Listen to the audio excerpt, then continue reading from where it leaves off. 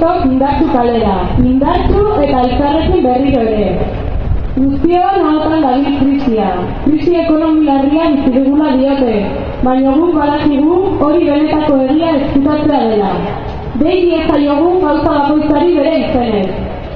Agerian utz dezagun krisi hau dela, krisi soziala dela, sistemaren krisia eta zaitzen krisia eta baita krisi ekologikoa ere. Eraldaketa soziala, eraldaketa feminista, eskatzen duen krisiaren aurrean gaude. El neoliberalismo, más descaradamente y con mayor impunidad que nunca, se está aprovechando de esa inestabilidad para hacer lo que le da la gana. Así, esta mal llamada crisis económica es en realidad una crisis de derechos. Los recortes económicos son un claro ejemplo de ello.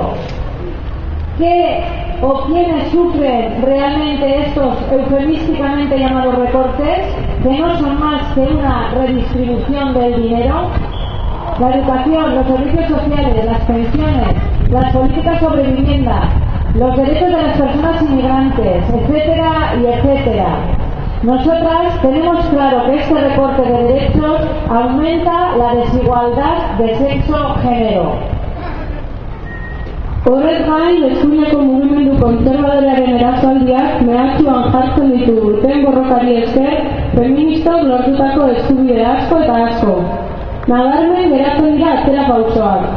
Abortuaren legea aldatu nahi dute, emakumeoi gura gorputzaren gaineko erabakiak hartzen ukatu. Tratu txarra jasandako emakumeak babesteko neurri polizialak jarri nahi dituzte. Nun da gure askatasuna? Bizkartzen kontrolatzaileak erasotzaileetzat.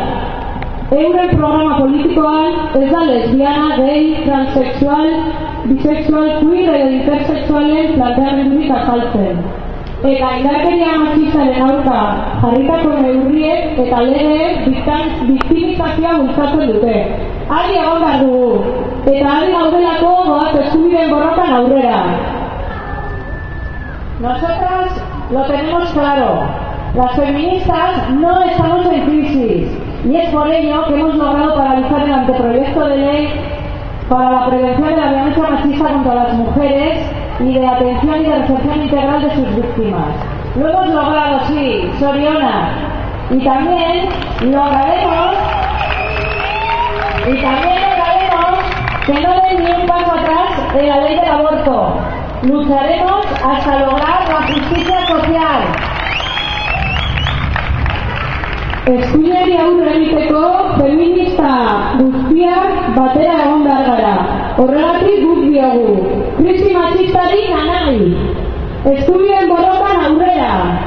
Hainbeste diskurtso zuten eta korrektorekin krisiaren aitzakipean emakumeok erabakigunetatik kendu eta etxera diali nahi gaituzte. Baina argi geratu dadila, ezin da berdintasunerako politikarik egin emakumerik eta feministari gabe. Emakumeak erabakigunetan egon behar dugu eta egongo gara. Guk aspalditik argi daukagu. Krisi kapitalista honen aurrean aldaketa soziala behar dugu. Hortaz, eskubide berdintasunean oinarritzen den aldaketa soziala nahi, behar, aldarrikatu eta exigiten dugu. En este momento sociopolítico en Euskal Herria están surgiendo movimientos encaminados a buscar soluciones al conflicto. Pero tengamos claro, y que lo tengan, que es imprescindible la participación de las mujeres y del feminismo. Y que en este conflicto también está el conflicto sexo-género. En este proceso tenemos que conseguir el reconocimiento de los, de, de derechos de las mujeres. Ahora es el momento. Izaera politikoa eman behar zaio, klase eta nazioa gatazkari bezalaxe. Benetan matxismoari erekin amaitu nahi bada, gatazka gisa identifikatu behar dago. Izan ere, ze bat emota da, sexu genero zapalkuntza bere horretan mantentzen bada. Eraldaketa soziala abian da, bertan gaude eta egon behar dugu emakumea guztio. Eraldaketa feminista izango da ezin bestean. Gora barroka feminista! Gora emakumea